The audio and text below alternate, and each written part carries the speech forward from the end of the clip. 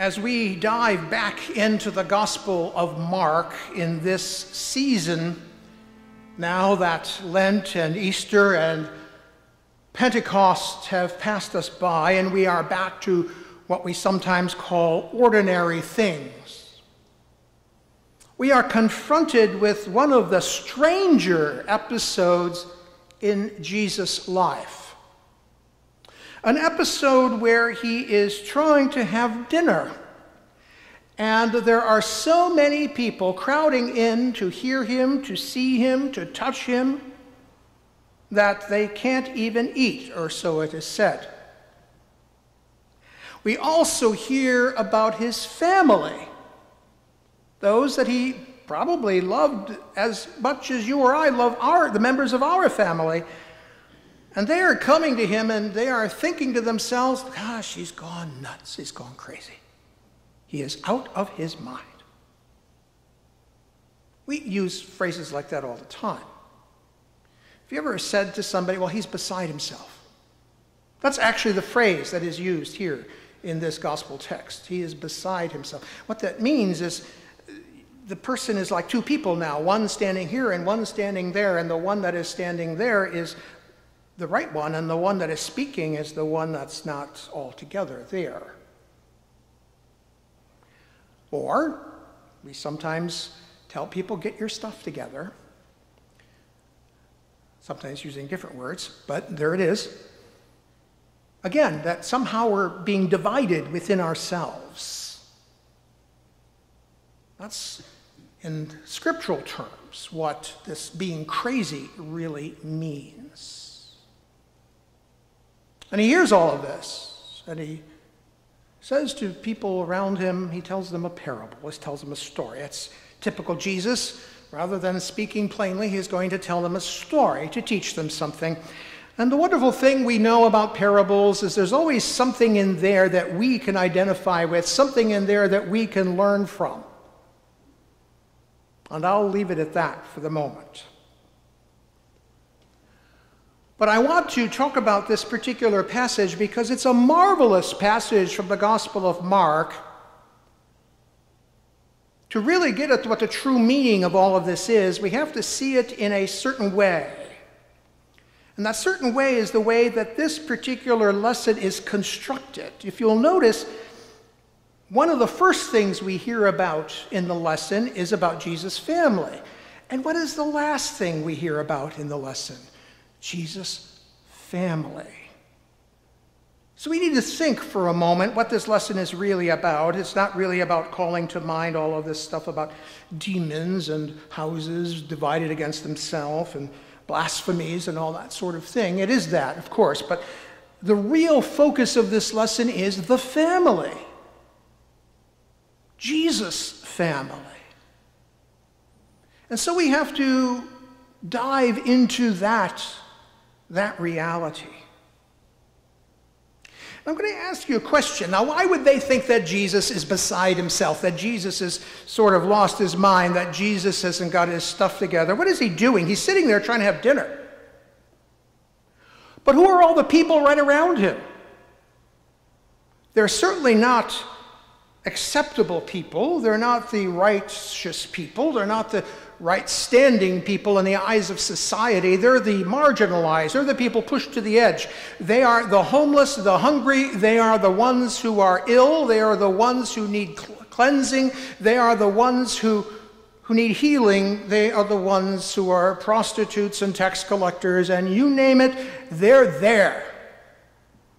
These are the ones pressing on Jesus, and he's not chasing them away. And so the righteous people, scribes. They're saying, this isn't right. This can't be right. He's inviting all these people to be with him, so he must actually be in league with Satan. After all, righteous people don't associate with sinners.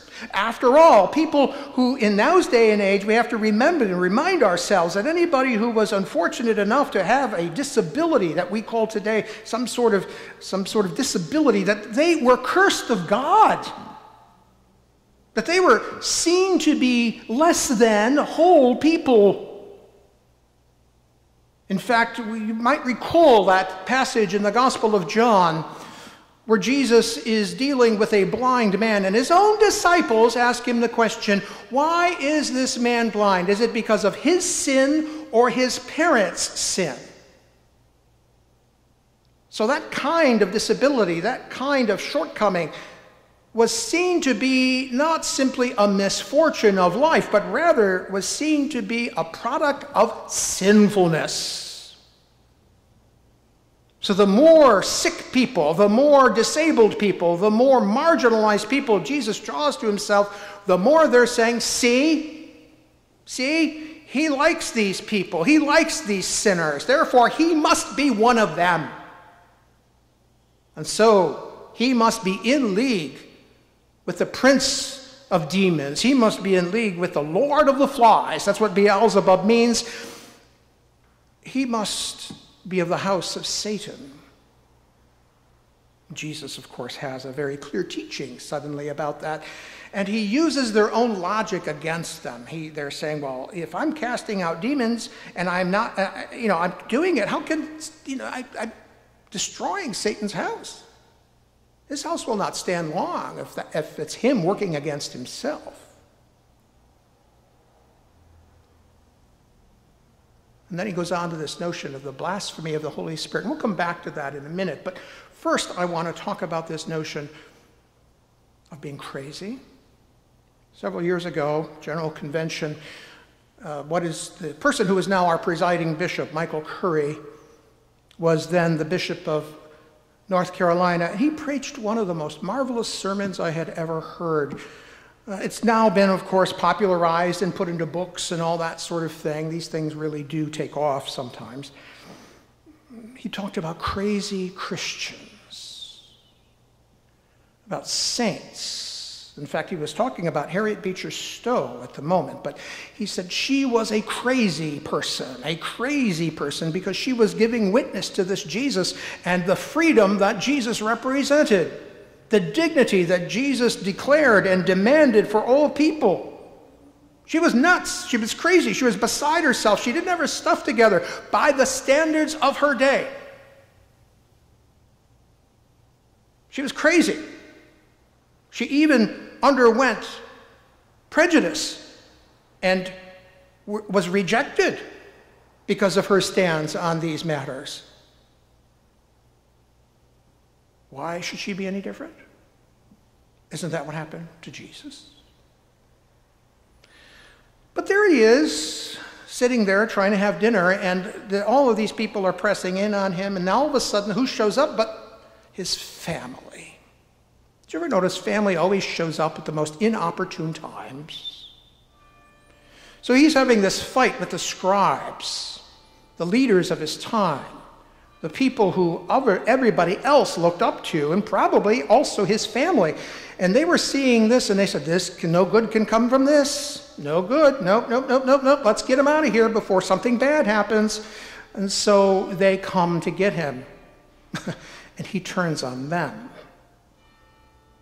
That doesn't sound like our Jesus now, does it? Kindly, wonderful, fuzzy wuzzy Jesus the one who espouses family values. And that's something, too, we need to come back to. But the, this notion that Jesus will also reject his own brothers and sisters and his mother in favor of these crazy people. What would you think about me? If all of a sudden, right in the middle of this sermon, people started to flood in through all of the open doors. It's so warm outside, we have all the doors open, people are listening to what we're saying, and if all of a sudden we got people walking in, people who you're not used to being around. People who smell a bit, people who don't look like they've had a change of clothes in several weeks, people who maybe were sleeping on the street last night, somebody maybe who still is sort of suffering a bender from being on too much alcohol or perhaps having a drug addiction problem. They start flowing in here. What would you do? What would you think? And then I say, Come here, come here, come here, come here, sit up here with us. You might say the same thing. He's gone off his rocker.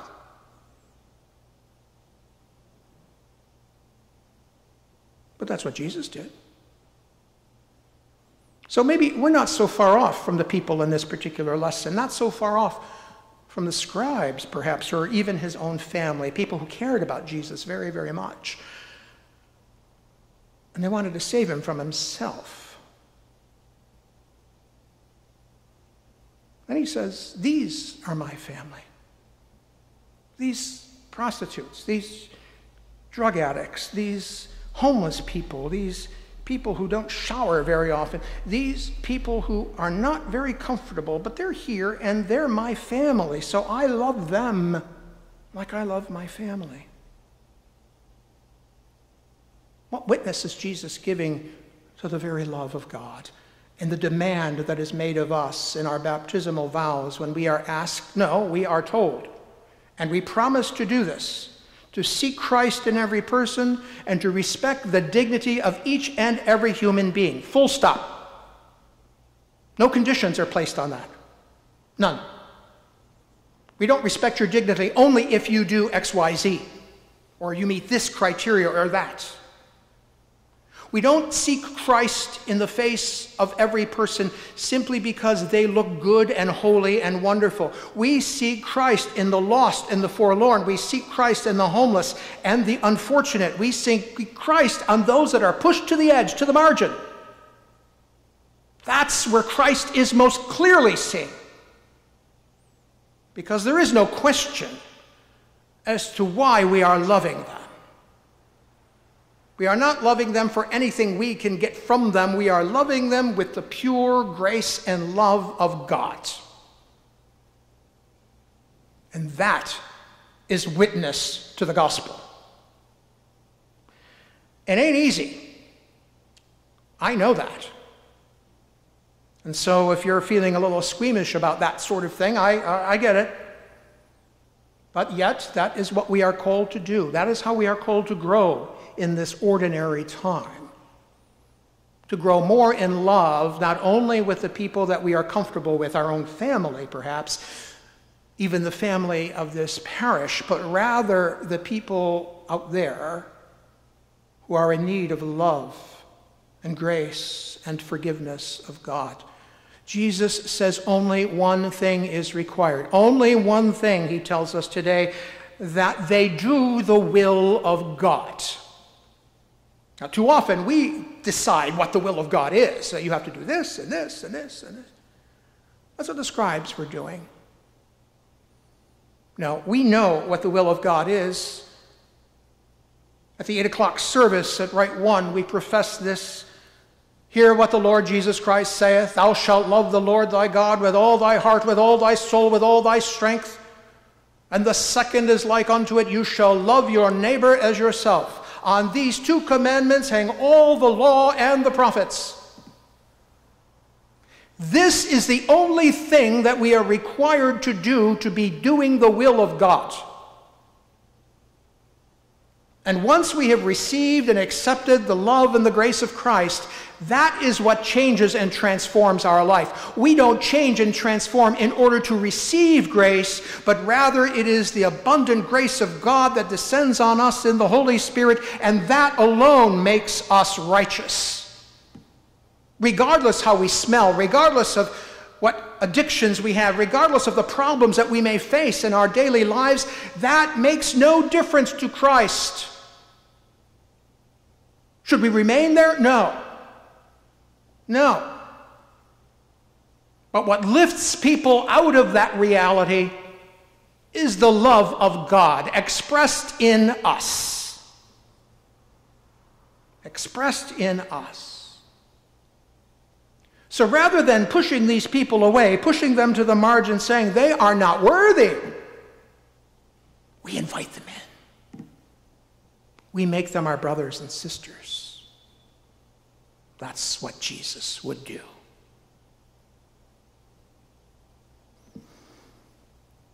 This blasphemy of the Holy Spirit, that sort of sticks in my craw all the time. Everybody's always kind of having a hard time with it. And I think there's kind of a simple explanation of that.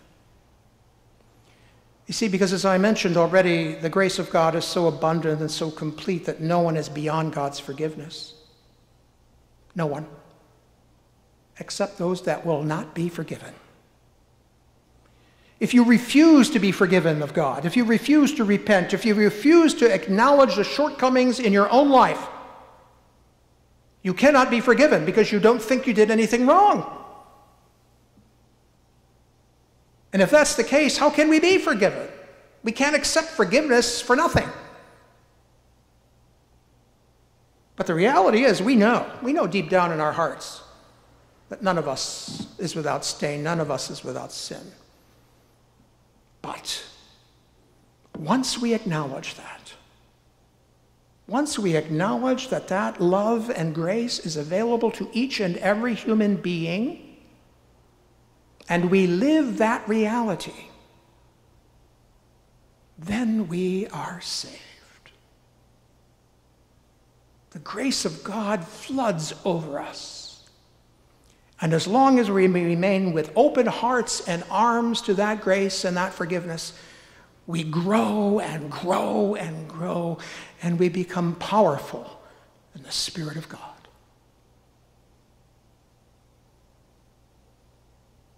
This is a circular reading. I've said that already a couple of times. We're going to come back to another thing.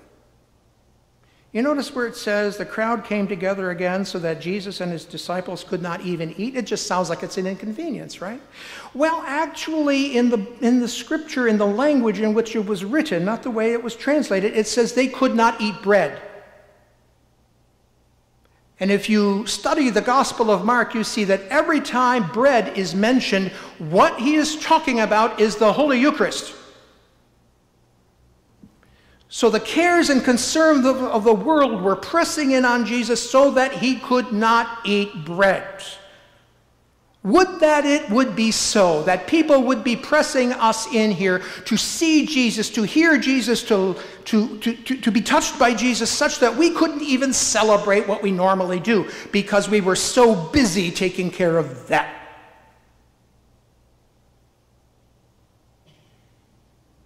Who are my brother? Who are my sisters? Who is my mother? These, Jesus says. This is my family.